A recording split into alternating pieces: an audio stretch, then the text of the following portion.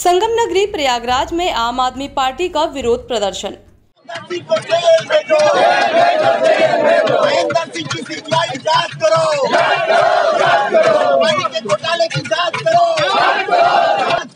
उत्तर प्रदेश विधानसभा चुनाव जैसे जैसे नज़दीक आ रहा है, प्रदेश में पार्टियों की सरगर्मी तेज हो रही है।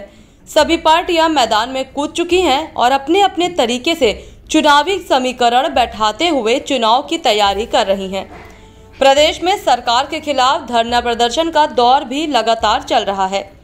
बीते दिन जहाँ सरकार के खिलाफ डॉक्टर संजय सिंह चौहान ने क्रांति रथ यात्रा निकाली, वहीं संगम नगरी प्रयागराज में आप पार्टी के कार्यकर्ताओं ने जल जीवन मिशन योजना के तहत हर घर नल जल परियोजना में धांधली को लेकर आप पार्टी कार्यकर्ताओं ने मटका फोड़कर अपना विरोध दर्ज कराया।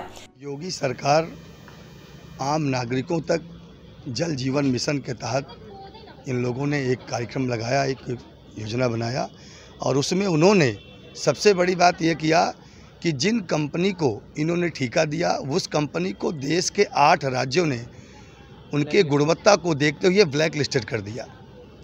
उसको इन्होंने टेंडर दे दिया। दूसरी बात आम नागरिकों के लिए पानी पीने में आप घोटाला कर रहे हो।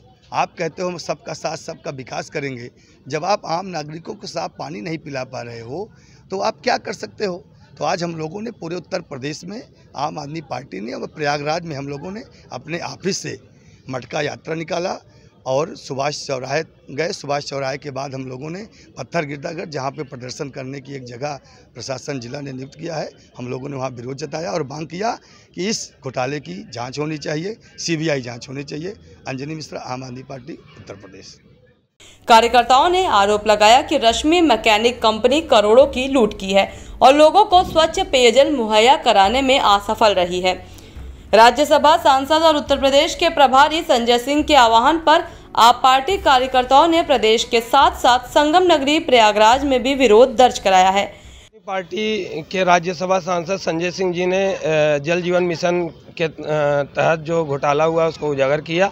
उनके आह्वान पर आम आदमी पार्टी प्रयागराज ने आज अपने कार्यालय से लेकर पत्थर गिरजाघर तक का मटका यात्रा निकालकर इस योगी सरकार के जल जीवन मिशन के तहत जो घोटाला हुआ, उसका विरोध किया है।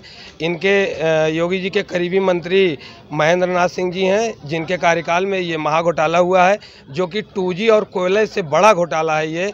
देश का सबसे बड़ा घोटाला है। तीस हज़ार लाख करोड़ रुपए का घोटाला हुआ है।